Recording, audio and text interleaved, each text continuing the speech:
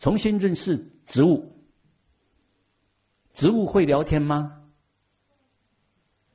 很多人没有接触过这些资料的话，认为哎呀，那不可能的，植物怎么会聊天？又没有嘴巴，又又不会说话。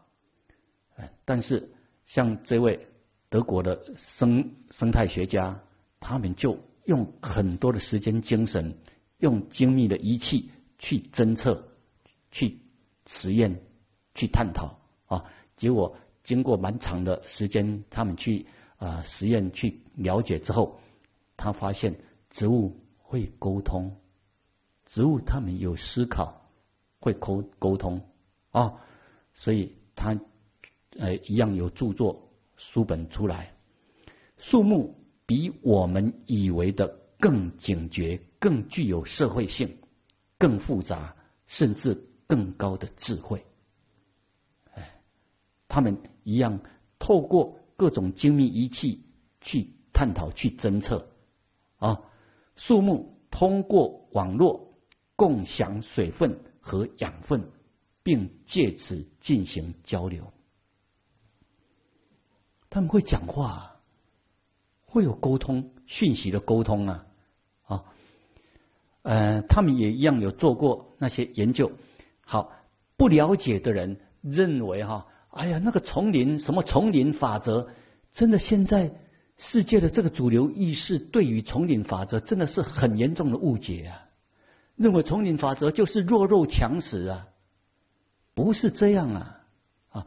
有有的观察出来就认为哦，那个丛林法则哦，你看到那个大家都在竞争阳光啊啊，竞争阳光啊，所以那些比较小的树木，他们就成为弱势啊，他们就被淘汰啊。变成哈，都是一直在强化那种弱肉强食的观念，会形成恶性的竞争，这个社会就不会和谐，变成很现实、很冷酷啊。但真实的大自然万物，它是和谐的，相辅相成，不是恶性竞争。前一堂课也跟大家有稍微讲过，我们现在来看哈，这个植物它本身。他们有去观察，然后我们你也可以到森林中实际去观观察去了解。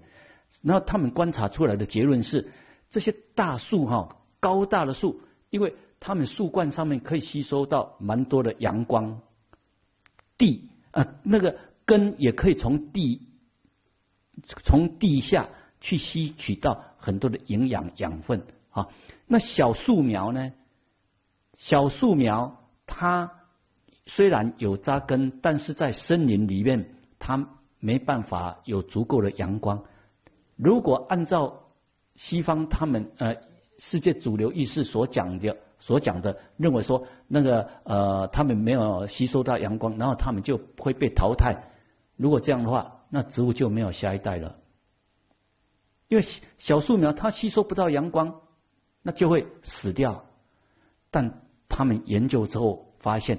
那些大高大的树木就好像父母亲，父母亲会把他们所吸收的阳光转换成为能源，转换成为那个生生命长养的那些养料元素，所以他们会喂养那些小孩子。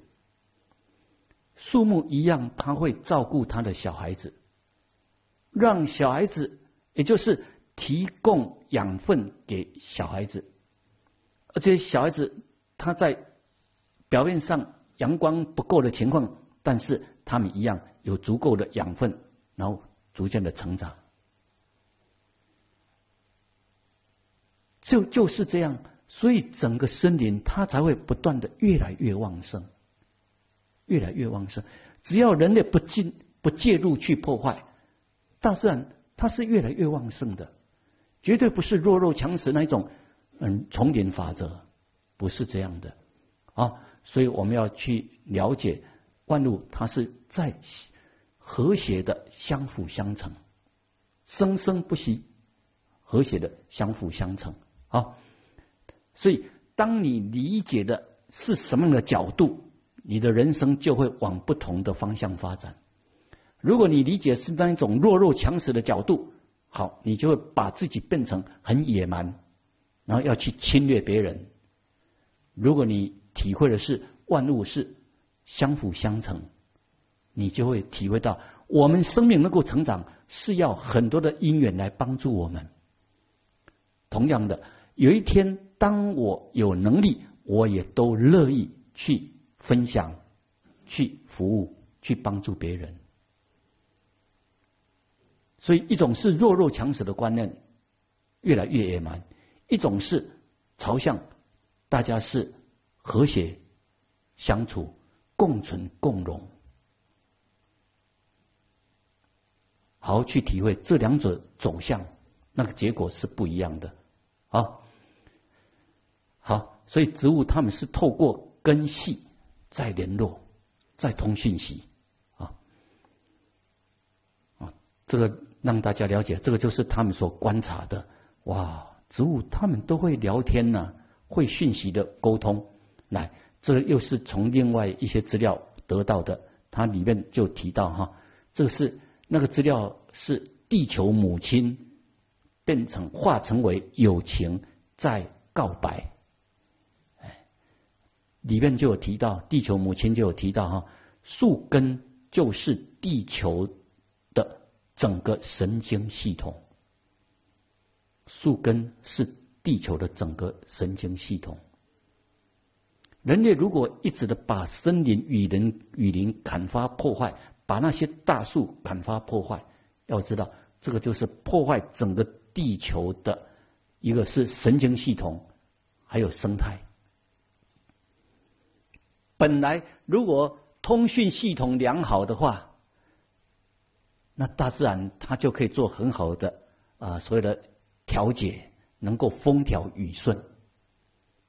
而如果这些植物树木被大量的砍伐、破坏、焚烧，除了生态环境表面上生态环境的破坏之外，在地球它的这个通讯系统被人类破坏，所以很多方面就没办法做很好的调节，然后就会形成风不调雨不顺。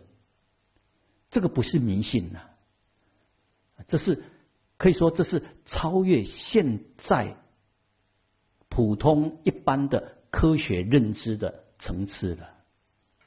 啊，所以这个就是我们要能够，我们要有科学的精神，但是不要被科学的局限所限制。科学一样有它的局限呢，有它的局限呢。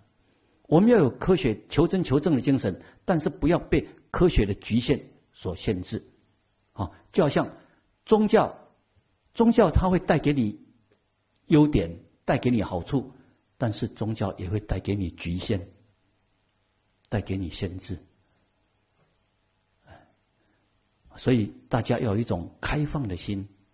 好的方面我们吸收学习，他要局限你的，我们不要受这些局限，我们能够去突破啊，成为无限可能的成长。来，这个哈，这是有人画出把那个树木大树。把它画成就像一个嗯和蔼的老人，那人类这是这个老人怀抱中的小孩，这看起来好像不切实际，但是要知道，真正的实相就是这样哦，是植物在养育人类，但是人类被教育被教育认为人类是万物之灵。人类很聪明，人类很厉害，人类的科技怎么样？这是人类教育没有到位啊！把真正在养育人类的大自然，人类因为错误的教育，结果呢，反过来去摧残它、破坏它、啃食它，这就是为什么。霍金博士提到，人类要重新再教育啊，所以我们要回归到真理实相来看。你看哈，这张这呃大树把人类抱在怀抱，我们来看这两张，哎，这是在马来西亚的海边拍的。哇，在海边有这些大树，因为它它是热带地区嘛，啊啊这些呃这些树木也都蛮蛮大的，就在海边，你看哦啊这个大树下吊很多的船，人类来这里来享受，来享受来乘凉，有没有看到这些大树在照顾人类？所以你要会看。要会看，是植物在照顾人类。好，那我们再回到前面这一章来看，是植物在照顾人类，所以要从一个更高层次来看哦，是植物它们这种生命、这种灵性、这种生命，默默在养育、在照顾人类。如果你读不懂的话，你认为它是无情，那就随便砍伐破坏，认为它是无情啊。如果你读得懂的话，你就会知道，哇，原来他们的灵性是那么的高，是他们在保护人类、养育人类、照顾人类。